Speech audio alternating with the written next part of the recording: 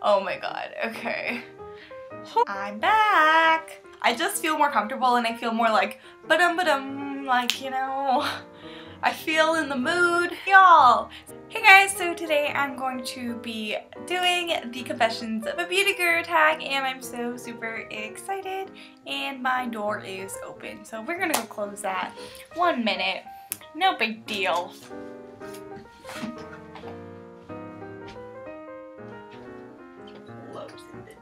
The door.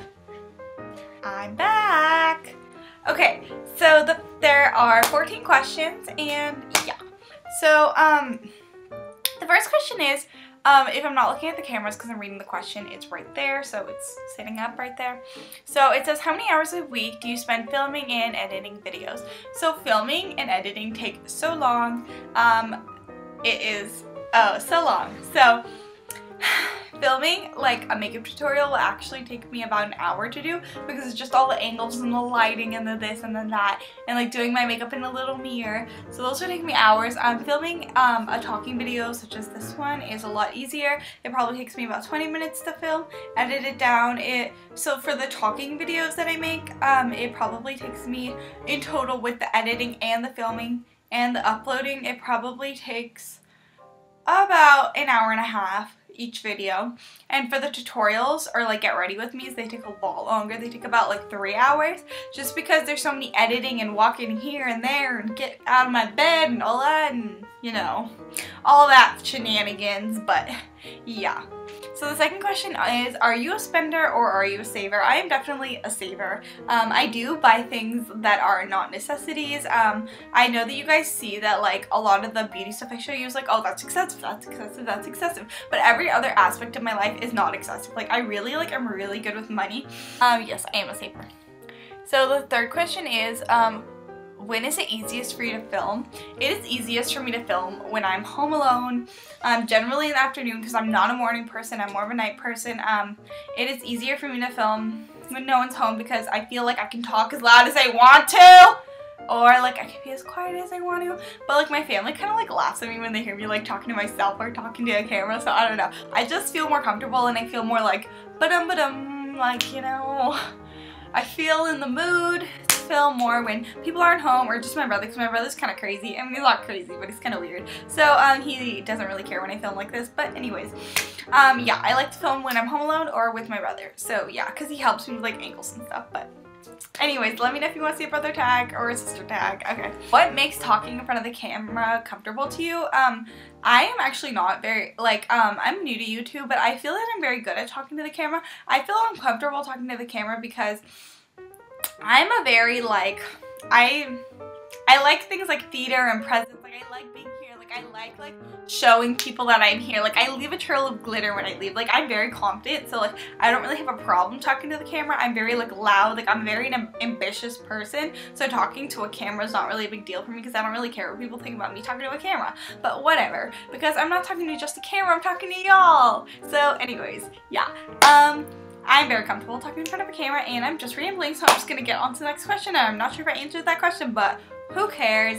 Moving on to the next question. Yeah. What's my worst makeup slash hair habit? Um, my worst makeup habit is that I never take, like I, I, I always forget to take off my makeup like I always forget to take off my makeup before I go to sleep and it gives me acne occasionally.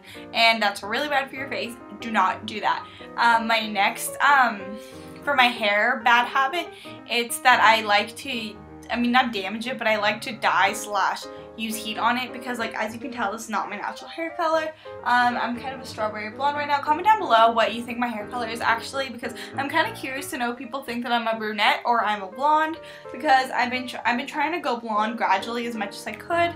Um, um, the next time I dye my hair it will be in November and I will go blonde. But sorry I know this is like really sidetracked but pretty much um, my hair is blonde and the reason it's blonde is because I damage it with chemicals, but you know, um, and I, I like to curl my hair and straighten it all the time, so my hair is really damaged at the ends, but good thing I use masks.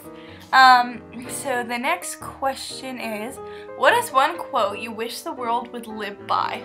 Um, I don't know. I'm gonna come back to you guys on this question. This will be the last question in the video, so I'm gonna come back to it. How long do you take to get ready every day? Um, I probably take, like if I have to leave the house at 8, I'll probably get up at like 7.30. No, okay, so I usually set my alarm for 15 minutes earlier because it takes me 15 minutes to like actually get up. So if I have to leave the house at like 8, 8, so I'll get up, I'll put my alarm for 8.15, get up at 8.30, and then I'll like do my makeup and everything in 30 minutes and less. Um, my favorite video on YouTube. Oh, my favorite video on YouTube. Well, there are pretty funny ones. Um, my favorite video on YouTube is probably Okay, so there's this video that's like really, really funny, but I don't know. Okay, no, I can't say that video because no one will understand it unless you, think you're a part of this thing. So I guess I'll say my favorite YouTube video is probably...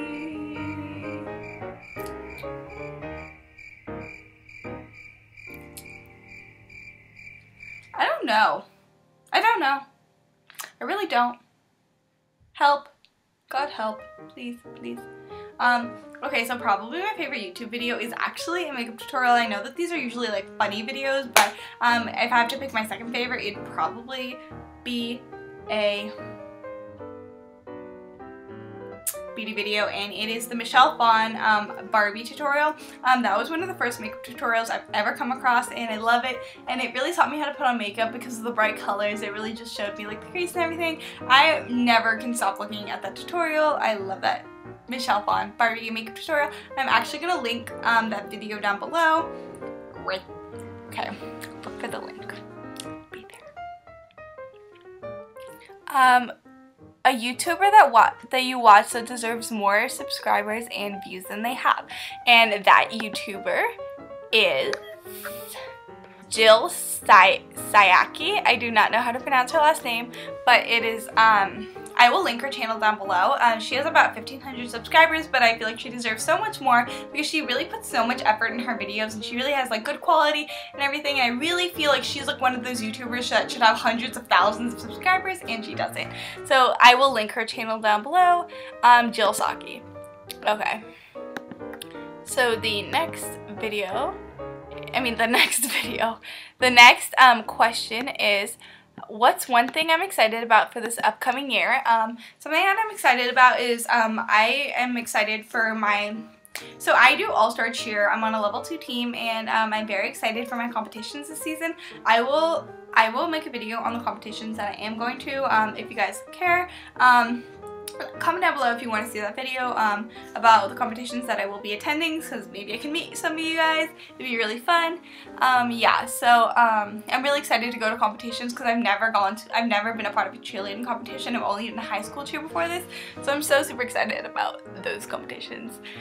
Okay, um, what's my most awkward filming moment?